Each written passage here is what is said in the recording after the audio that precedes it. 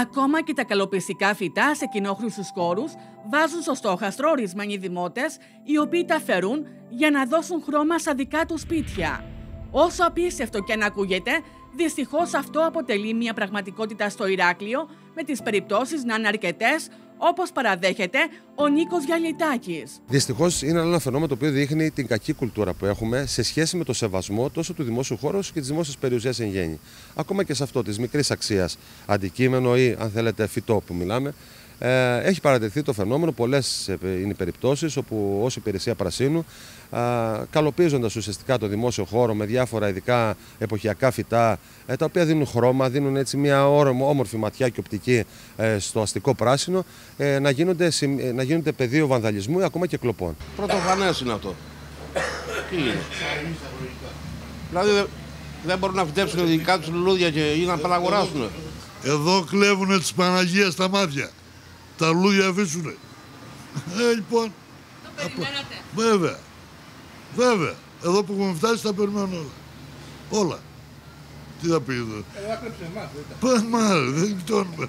Άγνωστοι κλέβουν τα καλοπιστικά φυτά, έχοντας όπω προκύπτει ιδιαίτερη αδυναμία στα γεράνια, τα οποία δίνουν χρώμα σε αρκετά κομβικά σημεία του Ηρακλείου, όπως τους κυκλικούς κόμβους και νησίδες.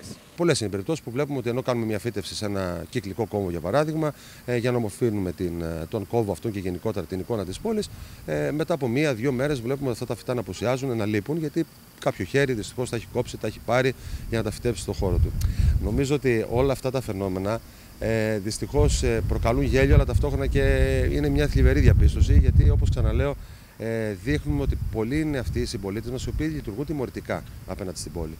Και είναι ένα φαινόμενο το οποίο νομίζω πρέπει να εκλείψει γιατί δεν τιμά κανένα. Τα παίρνουν ή τα πουλάνε στις λαϊκίες. Μια φορά τα Μια φορά τα παίρνουν.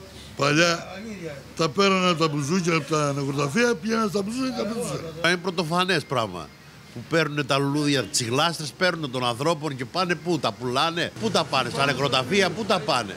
Θα ζήσουν από αυτά τα πράγματα.